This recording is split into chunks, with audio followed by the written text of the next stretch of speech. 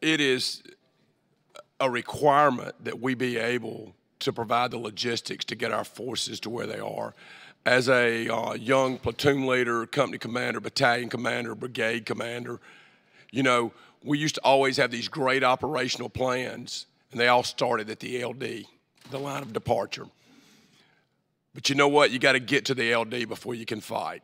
And so, what I found over a long military career is if we didn't practice uncoiling from a tactical assembly area, if we didn't practice doing a tactical road march to the LD, what happened is is we didn't have the right forces there when we hit LD. And guess what? The enemy has a vote, and he's not going to wait on you to get your forces in line.